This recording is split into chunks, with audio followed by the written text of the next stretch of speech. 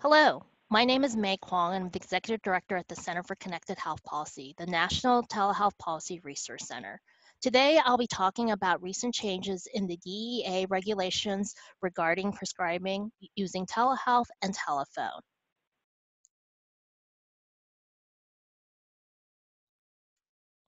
First off, a few disclaimers. Any information that I provide today should not be considered legal advice. It's only for informational purpose. If you are looking for um, a legal opinion, please seek out legal counsel. And also know if I happen to mention a company or show a product, know that neither I nor CCHP has any financial interest, arrangement, relationship, or affiliation with such a company. So the Center for Connected Health Policy was established in 2009, and we are a program underneath the Public Health Institute. We became the federally designated National Telehealth Policy Resource Center in 2012, and we've been serving in that capacity ever since. But we also work with a variety of partners on various topics and projects related to connected healthcare.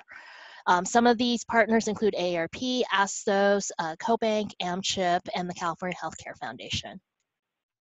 Some of the projects CCHP works on are um, a 50 state telehealth policy report where we track all of the 50 state Medicaid policies, laws, and regulations related to telehealth, as well as tracking on the federal level. Uh, we are also the administrator for the National Consortium of Telehealth Resource Centers, and we have a project in California where we convene a diverse group of 70 or more statewide, actually more statewide um, uh, uh, organizations that are interested in telehealth policy. So today what I wanted to cover was actually regarding some recent changes that the DEA made around prescribing controlled substances as it relates to telehealth and, and to telephone. So some of you may be aware that a few weeks ago the DEA uh, approved um, expansion of using telehealth to prescribe a controlled substance. Now, in a pre-COVID 19 environment, when you prescribed using telehealth a controlled substance, you were controlled by what was in federal law. This uh, information or this statute was put into place underneath what's called the Ryan Haight Act. So sometimes you may hear a shorthand when people are talking about the telehealth exceptions to prescribing controlled substances as the Ryan Haight Act. So in that act, there were seven about seven specific types of situations in which telehealth could be used to prescribe a controlled substance without having to see the patient in person first and conduct an in person exam.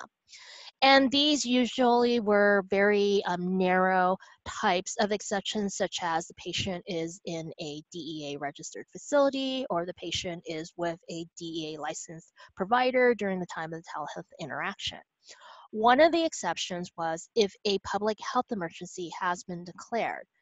Since that was declared earlier in March, that exception went into effect and DEA said you can use telehealth because in this public emergency, they call it telemedicine underneath the DEA.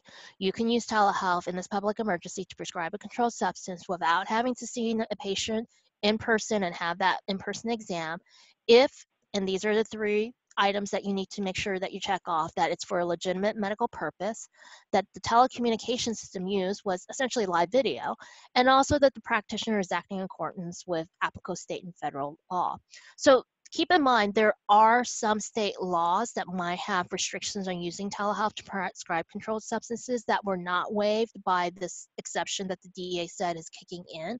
So if you are a provider who is prescribing controlled substances into a state, be mindful of what those state requirements and those state laws and regulations do have around using telehealth to prescribe controlled substances.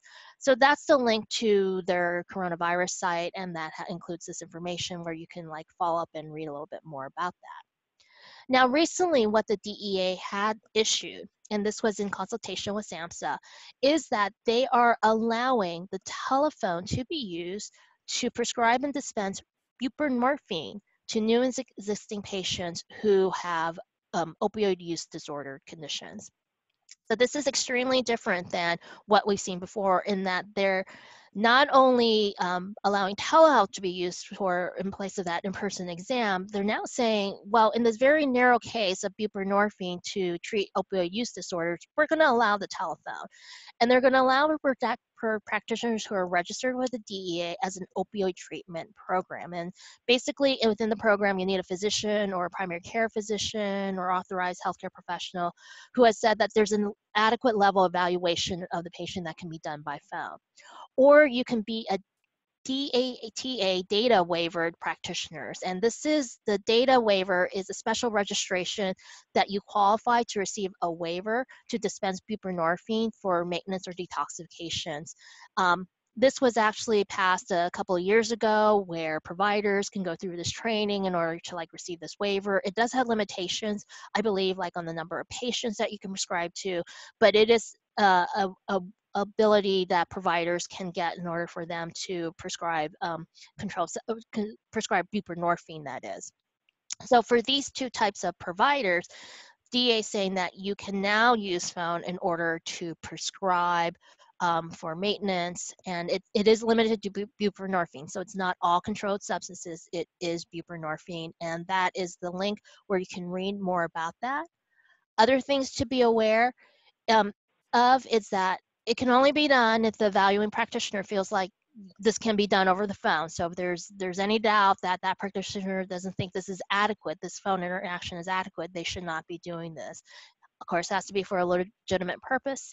And it's interesting in the letter that the DEA issued, it's noted at the end that this is a guidance document. So it's not binding on the public and doesn't have and lacks the force and effect of law. So keep that in mind as well. But that is a dot where you can find the document that is a new policy that's in place. They recognize in this particular crisis that we're in with COVID-19 that providers may need a little bit more flexibility in order to continue to treat their patients for things that are not COVID-19, but are certain health conditions that still need to be addressed for their patients also keep in mind state laws. This is like the same when I was talking about telehealth and prescribing um, controlled substances through telehealth, that keep in mind state laws may have their own rules and regulations around this and prescribing. So keep in mind um, if you're going into state that the state may have something to say about prescribing using telephone. But as far as the DEA is concerned, if it's buprenorphine, you're treating with um, somebody with OUD, you are an OTP or a data waiver practitioner, it's okay as long as you know it's for legitimate medical pur purpose, you feel that you can do the eval over phone, um, and so forth. So here are some links to some of the resources that CCHP has. We are trying to update this as um, timely as possible, so I do suggest that you check back frequently to see if we have made new updates. Also know that we do send out weekly newsletters, and because we are in such an unusual environment, we may send things out a little bit more frequently just as new items come up and news breaks. And that is an info email address that you can like ask your questions to or send your questions into. And I hope this has been helpful. So thank you again for listening to this uh, video and we hope to see you soon. And everybody please stay safe.